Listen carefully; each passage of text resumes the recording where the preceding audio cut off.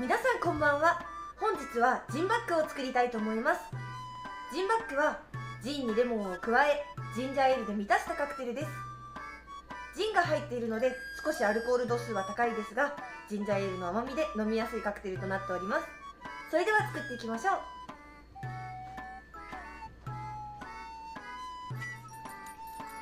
まずはレモンを絞ります。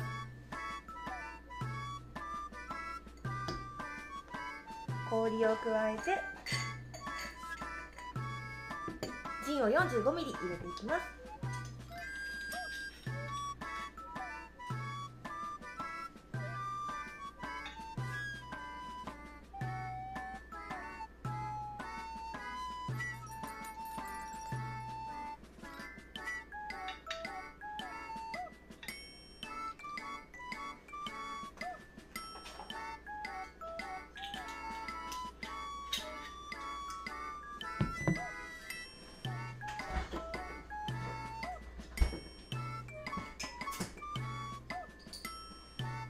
ジンジャーエールを入れて。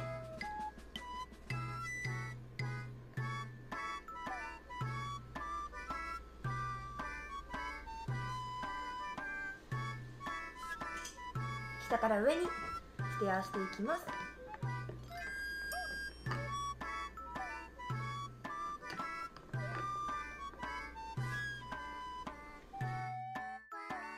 お待たせいたしました。ジンバックです。